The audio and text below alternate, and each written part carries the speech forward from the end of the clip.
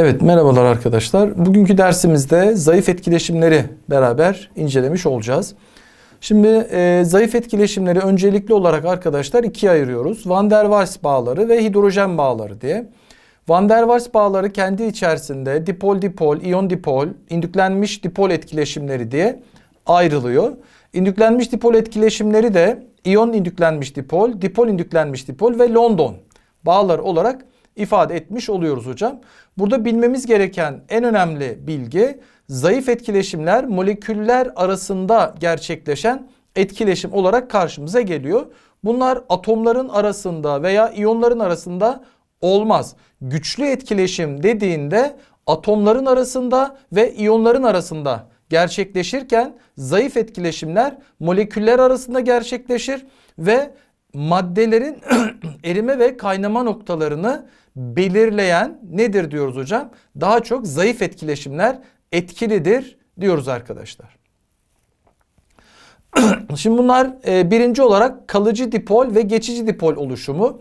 Hocam dipol demek dipol polar moleküllerde dipol bulunur. E, apolar moleküllerde ise indüklenmiş dipol bulunur diyoruz hocam. Şimdi kalıcı dipol, geçici dipol ne demek hocam? Kalıcı dipol polar bir maddede kalıcı dipol vardır. Yani ne demek hocam? Polar bir madde kalıcı olarak kutupludur. Kutuplu haldedir bir momente sahiptir diyoruz.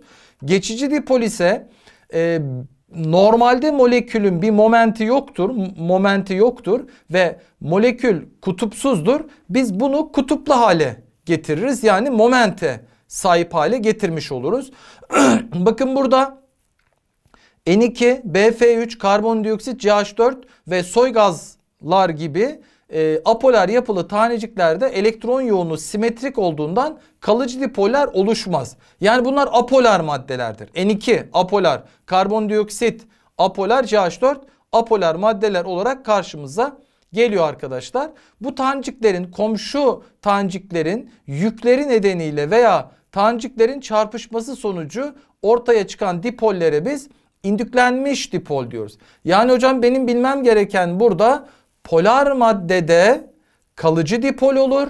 Apolar maddede geçici dipol olur. Ve maddemiz polarsa, molekülümüz polarsa biz bunda dipol vardır diyoruz. Dipol oluşur diyoruz. Eğer molekülümüz apolarsa bunda ise hocam e, indüklenmiş dipol etkileşimleri oluşur diyoruz. Bakın bizim soy gazlarımız, soy gazlar nedir? Apolardır. Apolar oldukları için bunlarda geçici dipol vardır. Soy gazlarda geçici dipol olur. Bunları ben nasıl kutuplu hale getiririm hocam? Birinci olarak bakın helyum alınmış bir çubuk yaklaştırılıyor. Bunda da elektronlar olduğu için, protonlar olduğu için bu kutuplu hale geliyor. Yani e, dengesi bozuluyor. E, kutuplu hale gelmiş oluyor. Polar yapıya sahip oluyor ve geçici bir dipol oluşuyor hocam. Aynı şekilde bakın e, bu çubuğu da yaklaştırdığım zaman bu yine kutuplu hale gelmiş oluyor. Molekülleri çarp, çarpıştırdığım zaman molekülümüz yine kutuplu hale geliyor. Bir momente sahip oluyor diyoruz hocam.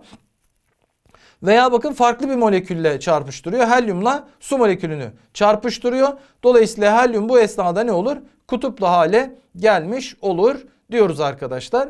Şimdi diğeri ise burada bakın suyu ile helyumu bu sefer bu şekilde çarpıştırıyor. Ve yine burada bir ne oluşuyor? Dipol oluşuyor. Hocam dipol varsa ne vardır diyoruz? Dipol varsa kalıcı dipollerde kutuplaşma olur diyoruz. Molekülümüz polarsa kalıcı dipol, apolarsa molekül geçici dipol etkileşimleri oluşur diyoruz arkadaşlar.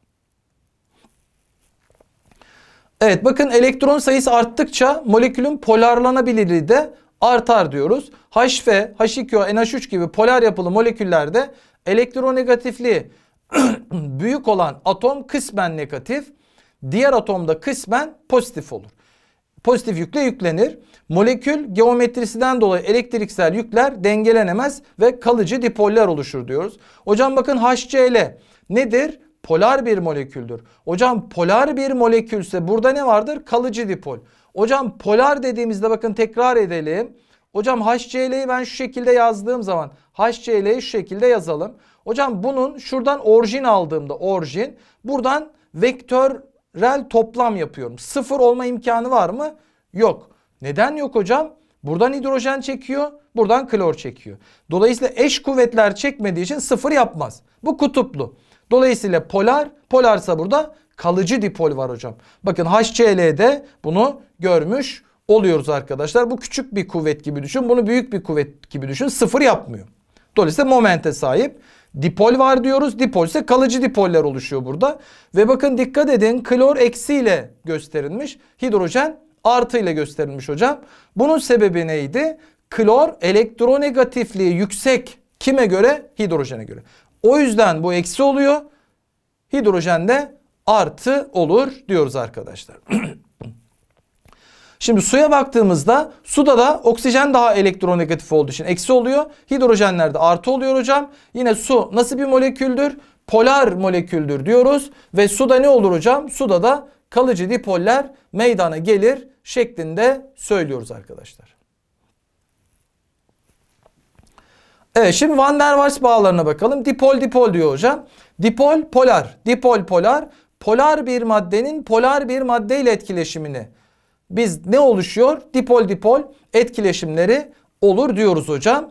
Bakın tanımda ne vermiş? Polar moleküller birbirine yaklaşırken bir molekülün kısmi pozitif yükü ile diğer molekülün kısmi negatif yükü arasında oluşan elektrostatik kuvvetlere dipol dipol kuvvetleri denir.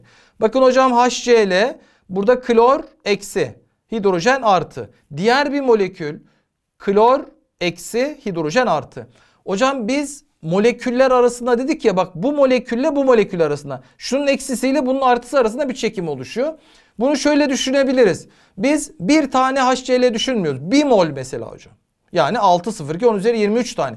Bunlar bir araya geldiğinde bunlar birbirine bu şekilde e, etkileşim oluyor. İşte bu etkileşimin ismi dipol dipol etkileşimi oluyor hocam. Ve dipol dipol etkileşim kuvvetleri arttıkça polar maddelerinde erime ve kaynama noktaları ne olur? Artar diyoruz. Dipol dipol kuvvetlerin etkileşimi ile polar moleküller birbiri içerisinde iyi çözünür diyoruz arkadaşlar. Hatırlayınız temel bir kimya bilgisi polar madde polar çözücüde iyi çözünür. Apolar madde apolar çözücüde iyi çözünür şeklinde ne yapıyoruz hocam? İfade etmiş oluyoruz. Evet iyon dipol etkileşimlerine bakalım hocam. Şimdi iyon bildiğimiz bizim iyon. Sodyum iyonu, klor iyonu, magnezyum iyonu gibi. Dipol nedir? Polar bir madde. Bakın hocam biz e, iyonlarla polar maddeler arasında olan etkileşime de iyon dipol etkileşimleri diyoruz hocam.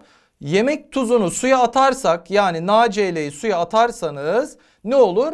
Yemek tuzu suda çözünür arkadaşlar. Ve yemek tuzu suda çözündüğünde su molekülleri bu iyonları bakın böyle çevreler bakın çevrelemiş. Hocam sodyum artı bakın artı. E bizim suyumuzda ne var? Oksijen ve hidrojen. E burada oksijen nedir? Kısmi negatif bakın. İşte bu oksijenin kısmi negatifiyle sudaki oksijenin kısmi negatifiyle sodyumun artısı arasında böyle bir etkileşim oluşuyor. İşte ben buna ne diyorum? Buna iyon dipol etkileşimi diyorum hocam. Ve iyon dipol etkileşimlerinde bakın ne oldu? İyonun çevresini su molekülleri sardı. Bu olayın ismine de hidratasyon diyoruz.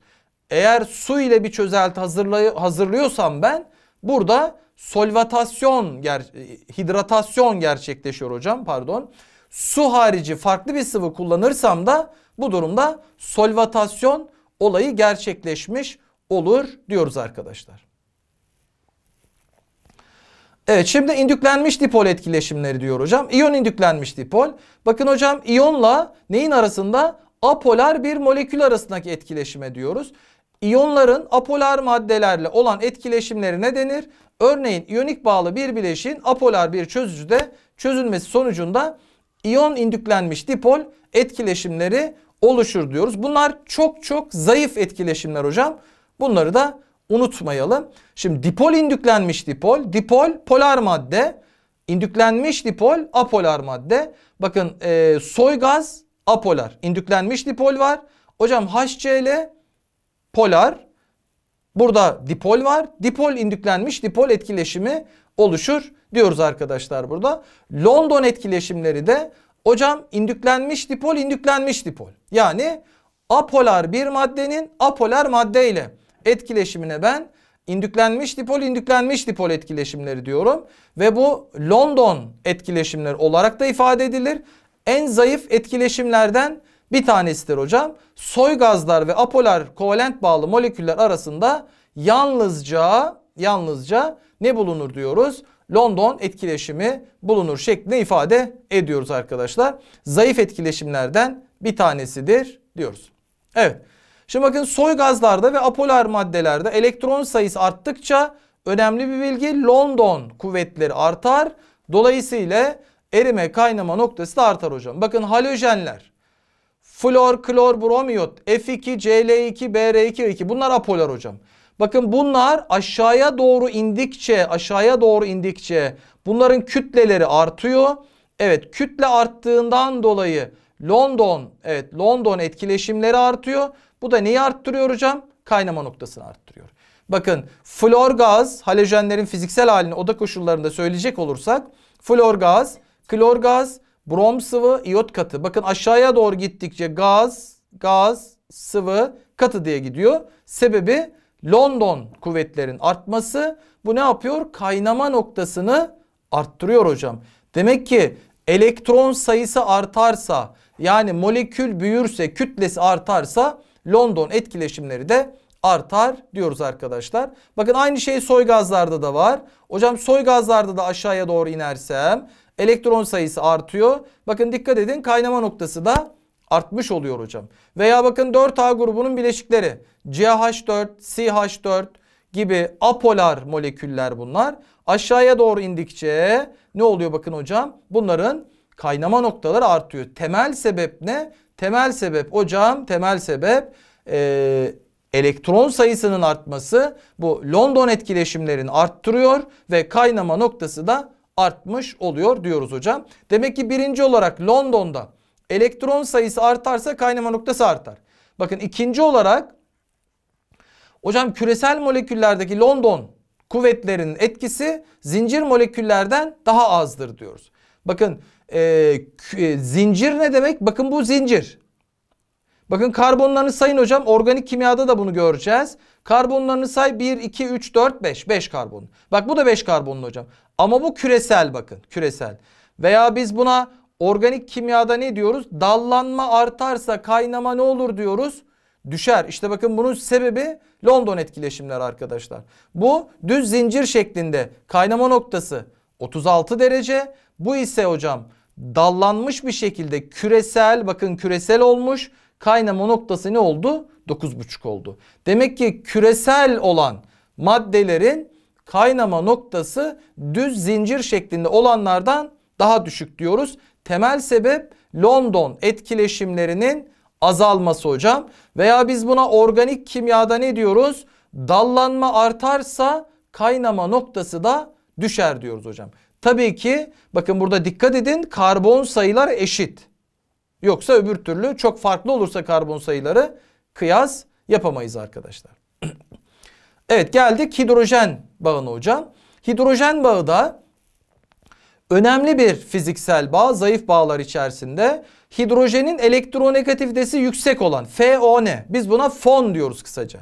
Elementleriyle oluşturduğu molekülün pozitif yüklü kısmı ile diğer molekülün negatif yüklü kısmı arasında oluşan bağ hidrojen bağı diyoruz. Başka bir deyişle hidrojenin fon atomları arasında köprü gibi bulunduğu durumlarda oluşan etkileşime diyoruz hocam. Kimlerde var bakın HF'de, H2O'da ve NH3'te var. Bunlarda hidrojen bağı var hocam. Bakın suda göstermiş suyun H'ıyla diğer su molekülündeki şu elektron çiftleri arasındaki etkileşim bakın. Aynı şekilde buradaki hidrojenle buradaki suyun elektronlar arasındaki etkileşim hidrojen bağı oluyor hocam. Bakın HF'de burada elektronlarım var florun üzerinde. Bu elektronlarla şuradaki H kısmi artı olurdu. Florda kısmi eksi olurdu. Aradaki çekime ben ne diyorum hocam? Hidrojen bağı olarak isimlendirmiş oluyorum. Hidrojen bağı zayıf etkileşimler içerisinde diğerlerine göre daha güçlü bir etkileşim olarak ifade edilir diyoruz arkadaşlar. Şimdi burada bakın hidrojen bağı farklı moleküller arasında da olur diyor. Bakın HF ile NH3. Bakın NH3 şurada azotun üzerinde elektron çifti var. Buradaki HF'nin hidrojeniyle etkileşiyor. Aynı şekilde suyun hidrojeniyle HF etkileşiyor. Yine aynı şekilde suyun hidrojeniyle NH3'te etkileşebilir şeklinde söylüyoruz hocam. Ve bir molekülde hidrojen bağı olması onun erime ve kaynama noktasını yükseltir diyoruz hocam.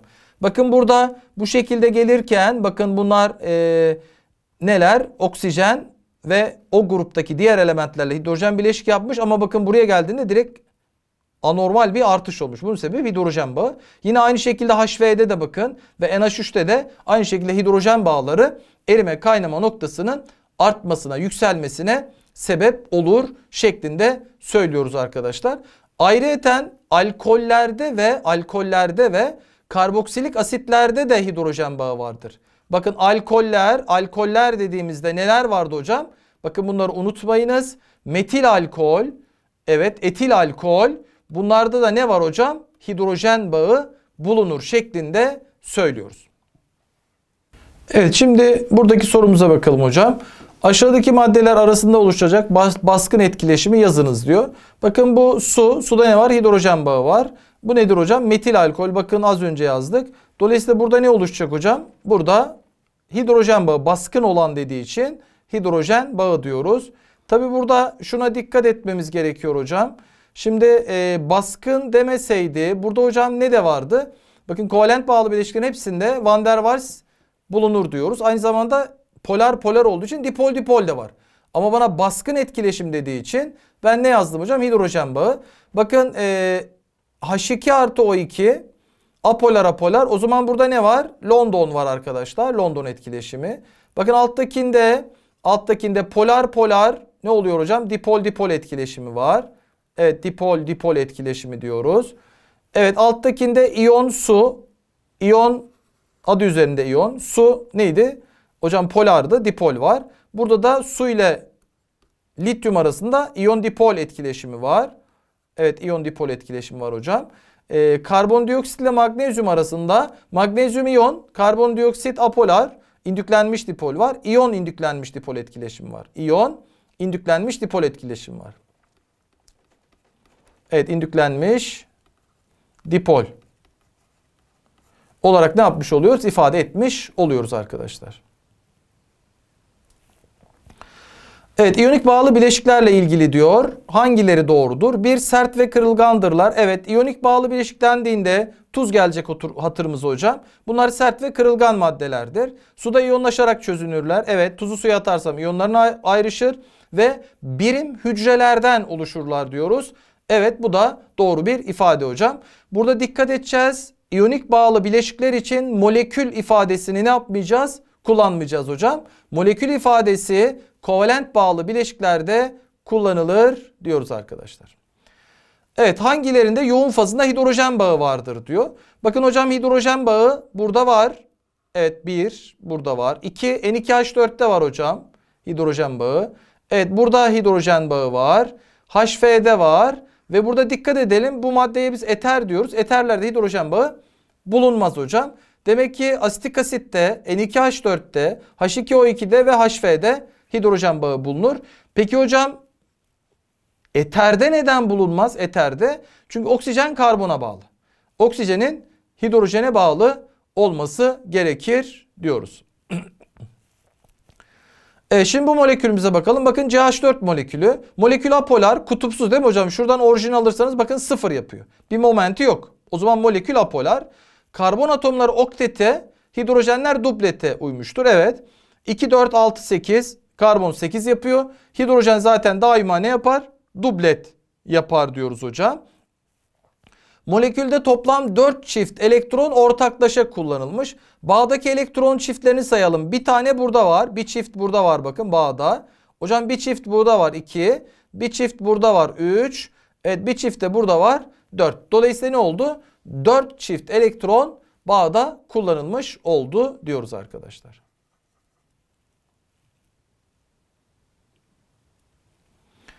Evet, e, hidrojenle flor arasında oluşan molekül için hangileri doğrudur? Hemen molekülün şeklini çizelim. Hidrojenin bir tane değerli elektronu var. Florda 7 tane değerli elektron var. Bunlar ne yapacaklar? Elektron ortaklaşa kullanacaklar. Bakın şöyle bir yapı oluştu hocam. Şimdi burada e, molekülde diyor 3 çift ortaklanmamış elektron var. Elektronlar bağa katılmayanlar. 1 çift, 2 çift ve 3 çift. Evet bu doğru bir ifade. Molekül apolar. Moleküle baktığım zaman hocam şuradan orijin alırsam eş kuvvetler çekmiyor sağdan ve soldan. Dolayısıyla molekül apolar olmaz. Molekül ne olur? Polar olur diyoruz hocam. E, molekül arasında hidrojen bağı var. Evet fon hidrojen F ile yapmış bakın. H ve atomlar arasındaki bağ polardır. Evet polar bağ farklı metaller arasında oluşuyor. Ve florun diyor bir tane bağlayıcı elektronu var. Evet bakın florun bir tane elektronu bağa katılıyor. Hidrojenin bir tane elektronu bağa katılıyor.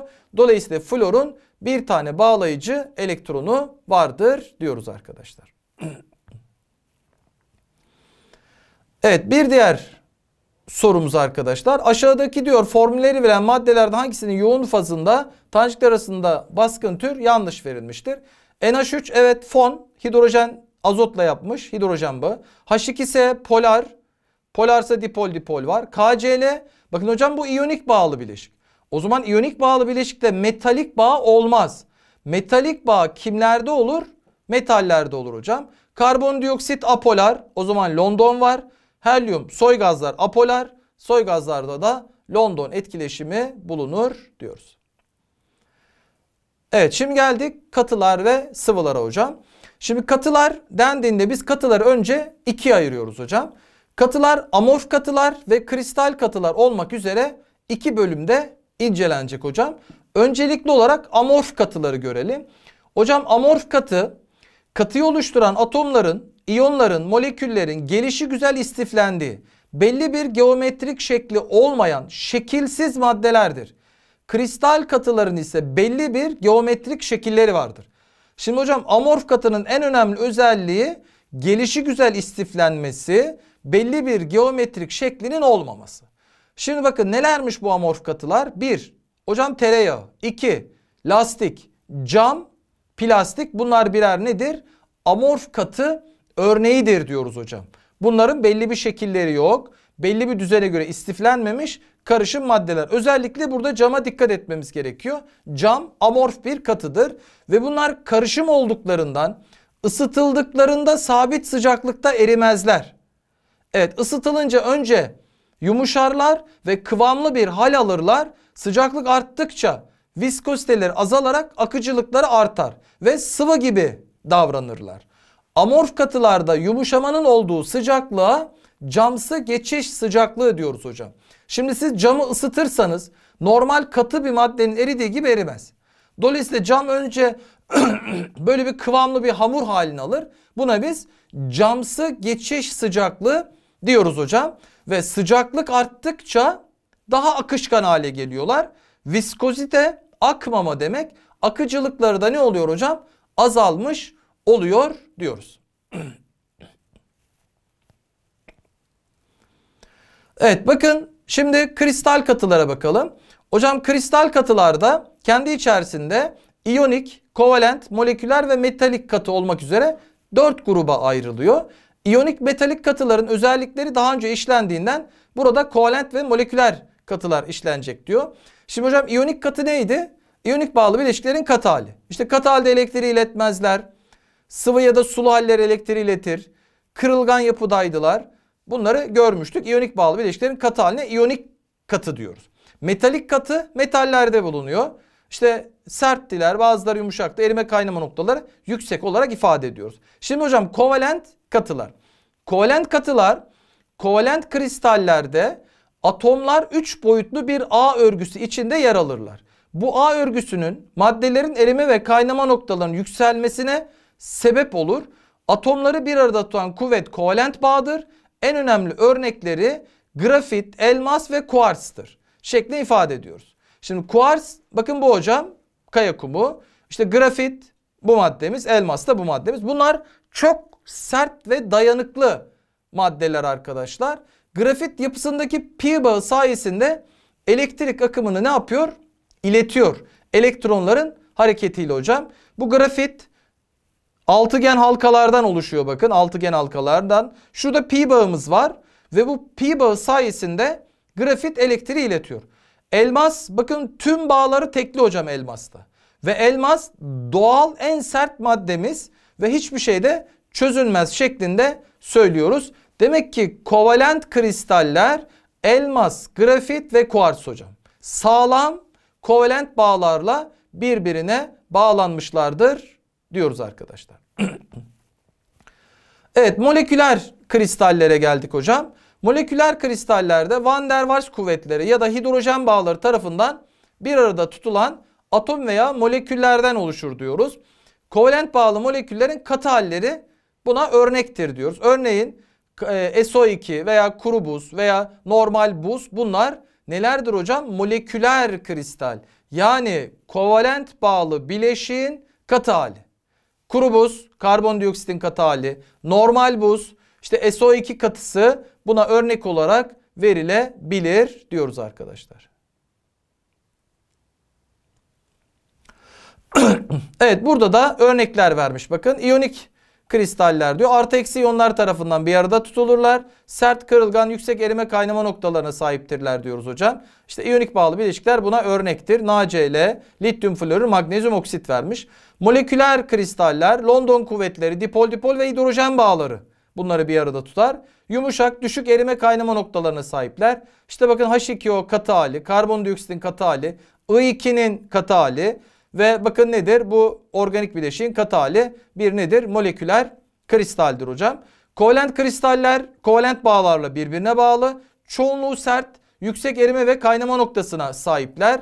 Elmas, bor, e, kuars bunlara örnek olarak veriliyor hocam. Metalik bağlar metallerde bulunuyor.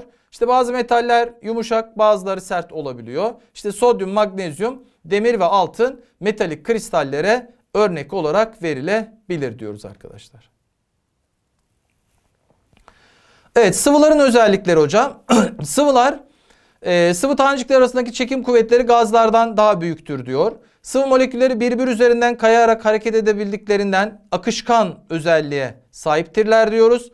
Sıvılar gazlara göre daha düzenlidir diyoruz. Sıvıların belli hacimleri vardır. Belli bir şekilleri yoktur diyoruz. Bulundukları kabın bulundukları kısmını doldururlar ve bulundukları kabın konuldukları kabın e, konuldukları kısmının şeklini alırlar diyoruz.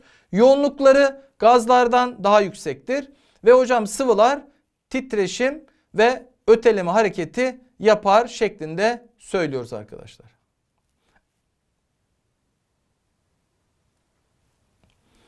Evet viskozite Viskozite kelime anlamı hocam akıcılığın tersi.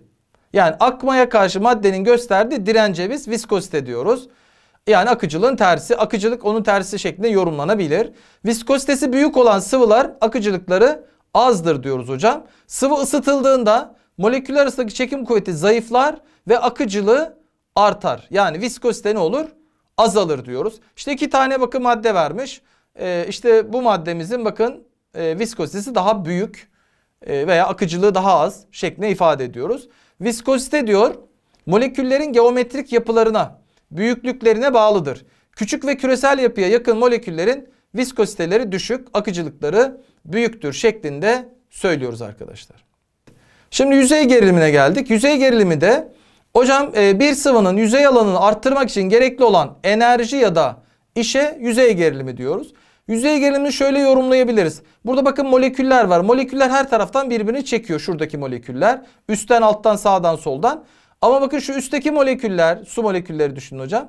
Buradan çekiliyor buradan çekiliyor alttan çekiliyor. Üstten çekilmediği için üstte böyle gergin bir yapı oluşuyor. İşte biz buna ne diyoruz? Yüzey gerilimi diyoruz. Ve maddeler yüzey alanını en küçük en küçük tutmak isterler e, aslında yüzey e, gerilimi bu şekilde de ifade edilebilir. Mesela musluktan su damla damla akarken nasıl oluyor? Küresel oluyor. Bu küresel olmasının sebebi nedir hocam? Küresel olmasının sebebi yüzey gerilimi olarak ifade ediliyor. İşte bakın bu böceğin suyun üzerinde durabilmesi suyun üzerinde oluşan yüzey gerilimiyle ilgili diyoruz arkadaşlar. Sıvı içindeki moleküller komşu moleküller tarafından her yönde eşit kuvvetle çekileceği için dengede olurlar. Fakat yüzeydeki moleküller diğer moleküller tarafından sadece içeriye doğru çekilirler ve sıvı yüzeyinde bir gerilme oluştururlar. Yani bakın buradan çekiyor molekül. Şuradan. Evet buradan çekiyor bir de buradan çekiyor. O zaman burada gergin bir durum oluşuyor. Buna biz yüzey gerilimi diyoruz. Ve yüzey gerilimi nedeniyle her sıvı en küçük yüzey alanına sahip olmak ister. Evet bak burası önemli. Neymiş? Her sıvı en küçük yüzey alanına sahip olmak ister. O yüzden hocam musluktan böyle su damla damla akarken küresel olarak düşer damlalar. Yağmur damlaları da küresel olarak düşer. Bunun sebebi hocam yüzey alanını en aza indirmektir. Kürenin yüzey alanı en küçüktür ve en küçük yüzey alanına sahip geometrik cisimdir şeklinde diyoruz hocam küre için. Evet yüzey gerilimini etkileyen faktörler diyor hocam. Bir yüksek sıcaklıkta sıvıların yüzey gerilimi daha düşük olur. Sıcaklık artarsa yüzey gerilimi demek ki düşüyor. Sıvının üzerindeki gaz yoğunluğu arttığında veya sıvıya bu sıvıda çözünmeyen başka bir sıvı eklendiğinde yüzey gerilimi azalır diyoruz hocam. Ee, saf bir sıvı içindeki başka bir madde çözünüyorsa çözünen madde cinsine göre yüzey gerilimi değişir. Çözeltilerin yüzey gerilimi saf çözücüye göre genelde düşüktür diyoruz. Ve çözücünün yüzey gerilimini düşüren maddelere biz yüzey aktif maddeler diyoruz. Yüzey aktif madde neymiş? Yüzey gerilimini düşürüyor hocam. Bunlar bakın deterjanlar, asitler, alkoller, esterler yüzey aktif maddelerdir. Yani yüzey gerilimini düşürürler hocam. Çözücünün yüzey gerilimini değiştirmeyen maddelere de yüzey inaktif maddeler diyoruz. Organik asit tuzları, şeker ve gliserin yüzey inaktif madde olarak ifade edilir diyoruz arkadaşlar. Evet adezyon ve koalizyon kuvvetleri var hocam. Adezyon bir sıvının e, koalizyon kuvvetleri e, bir sıvının kendi molekülleri arasındaki çekim kuvvetlerine biz koalizyon kuvvetleri diyoruz. Sıvı molekülleri ile kap arasındaki çekime de adezyon kuvvetleri diyoruz. Koalizyon kuvvetleri adezyon kuvvetlerinden büyükse sıvı damla biçimini korur ve bulunduğu yüzeyi ıslatmaz. Yani koalizyon büyük adezyonsa sıvı ne oluyor? Küresel olur diyoruz hocam. E, adezyon kuvvetleri koalizyon kuvvetlerinden büyükse e, sıvı film şeridi şeklinde yayılır ve bulunduğu yüzey ıslatır şeklinde söylüyoruz. Yani hocam A büyük K ise yani ak şeklinde kodlayabilirsiniz. Ak olursa iç bükey oluyor yani su. Bak şurada ne yapmış hocam? Şöyle bir iç bükey oluşturmuş. iç bükey oluşturuyor. Ve bu maddeler ıslatıyor. Ve kapiler etki gösterir diyoruz. Ve ade, kohezyon büyük adezyonsa, kohezyon büyük adezyonsa yani bu sefer de dış bükey oluşturuyor hocam. Bakın civa Civada e, K oluyor. Suda ak oluyor. Ak adezyon büyük kohezyon yani ıslatıyor. Eğer kohezyon büyük adezyon olursa dış bükey oluyor. Bu durumda sıvı ıslatmıyor. Mesela civa. İşte kumaşa civa döküldüğünde ne olur? Küresel olur diyoruz. Veya pencereden yağmur damlası ne olur? Film şeridi şeklinde akar. Ama civa akar mı? Hayır. Civa top gibi düşer. İşte bu ne ile alakalı? adezyon, kohezyon kuvvetleriyle ilgili diyoruz arkadaşlar. Şimdi burada adezyon kohezyonla ilgili bir de değinmemiz gereken hocam e, kapiler etki var. Islatıp ıslatmama. Yani adezyon büyük kohezyonsa ıslatıyor. İşte nedir? Kumaşların suyu çekmesi, kağıt havlunun suyu çekmesi veya bitkilerin topraktan suyu alarak ta e, en tepe noktaya kadar çıkarması adezyon büyük kohezyon ile ilgili bir durum olarak karşımıza geliyor arkadaşlar. evet şimdi diyor ki bize örnek bir e, aşağıdaki maddelerden hangisinin bir atmosfer basıncında kaynama noktası en yüksektir? Hocam bu tür sorularda ne yapacağız? Bakın bunlara önce bakalım. Apolar, O2 apolar, apolar, apolar, apolar, apolar. O zaman hepsi apolar soracağım. Neye bakacağız? Mol kütlesi büyük olanı. Burada mol kütlesi büyük olan hangisi? Florun mol kütlesi nedir hocam? 9, 18 elektron. Bu iki zaten. Bu kaç hocam? 20. C6H e, 14 ne oluyor? 36, 14. Bu büyük bir değer yapıyor değil mi? Dolayısıyla burada kaynama noktası en büyük olan ne olacak? B olacak hocam. Hepsi apolarsa mol kütlesi büyük olanın kaynama noktası büyük olur diyoruz arkadaşlar. Evet sıvılarla ilgili hangileri doğrudur? Bir sıvının sıcaklığı arttığında viskozitesi azalır. Evet sıcaklık artarsa akıcılık artar, viskozite azalır. Moleküller arası çekim kuvveti büyük olan sıvıların akıcılığı azdır. Evet daha sıkı çekiyordur, daha zor akar. Titreşim ve öteleme hareketi yaparlar. Evet sıvılar titreşim ve öteleme hareketi yaparlar diyoruz arkadaşlar. Evet aşağıdakilerden hangisi güçlü etkileşimdir? Hocam güçlü etkileşim iyonik bağ, kovalent bağ ve metalik bağ olarak sınıflandırıyoruz. Burada bu sorunun cevabı da ne oluyor bakın? İyonik bağ oluyor. Diğerleri zayıf etkileşim olarak ifade ediliyor arkadaşlar. Evet saf bir sıvının kimyasal tepkimeye girmeksizin sabit basınç altında sıcaklığı bir miktar arttırılıyor. Hangisinde değişiklik olmaz? Molekül arası çekim kuvveti, yüzey gerilimi, molekül yapısı, viskozitesi, öz kütlesi. Yani ısıttığım zaman bileşiğin molekülün yapısı değişir mi? Hayır. Su her zaman H2O'dur. Sadece fiziksel hali değişir ısıttığımız zaman. Ama diğer etkileşimlerin hepsi değişir şeklinde söylüyoruz arkadaşlar. evet bakın burada yine e, konu anlatım föyümüzde de vardı. Bunların diyor erime noktalarını karşılaştırın. Hocam sodyumlar ortak. Erime noktasında neye bakacaktık hocam? Erime noktasında yük bölü evet bakın yük bölü çap oranına bakacağız. Yük bölü çap. Eğer bu oran büyükse hocam iyonik bağ sağlam diyoruz. Burada sodyum ortak olduğu için sodyum ortak olduğu için halojenlere bakacağız. Fino Celal'in burnunu ısırdı şeklinde kodlamıştık.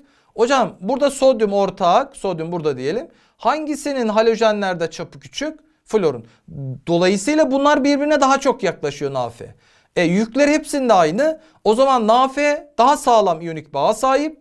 O zaman erime noktası NaF büyük, NaCl büyük, NaBr, Na olarak ifade etmiş oluyoruz hocam. Cevabımız ne oldu? Ceyhan oldu. Evet bir diğer sorumuz yanlış verilmiştir. Diyor. NH3 polar o zaman dipol var. Karbondioksit apolar indüklenmiş dipol var. Evet. Apolar apolar indüklenmiş dipol indüklenmiş dipol.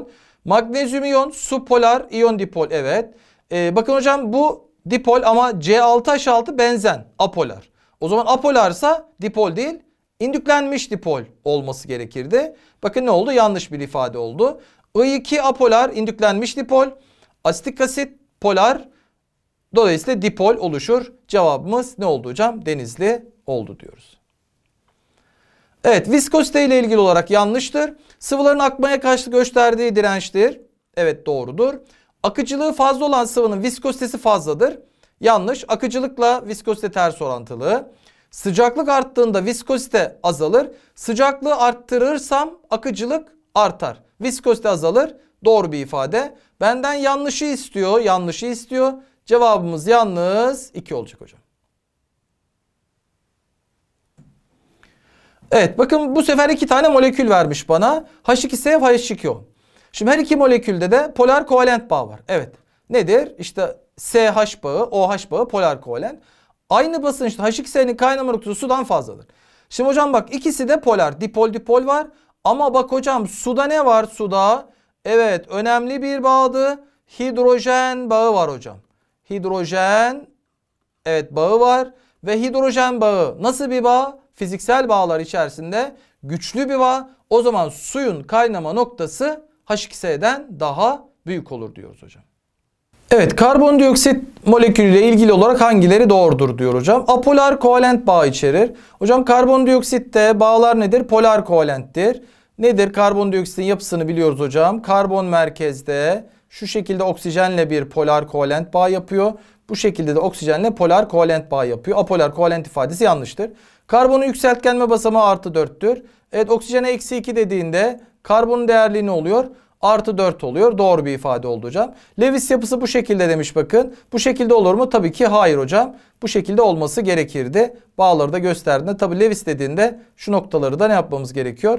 Koymamız gerekiyor diyoruz hocam. 3 de yanlış oldu. Yalnız birinci ifademiz doğru oldu. Evet son soru olarak da moleküller e, kristal değildir diyor. Hocam moleküler kristal neydi? E, kovalent bağlı bileşiklerin katı hali. O zaman bakın I2 kovalent ametal ametal. Evet şeker kovalent katı hali bunda da var.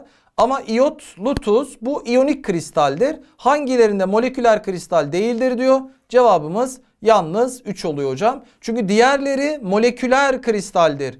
I2 ve şeker kovalent bağlı bileşiğin katı halidir diyoruz arkadaşlar. Evet. Ee, bir dersimizin daha sonuna geldik arkadaşlar. Bu dersimizde fiziksel bağları yani zayıf etkileşimleri inceledik. Bir sonraki dersimizde görüşmek üzere arkadaşlar.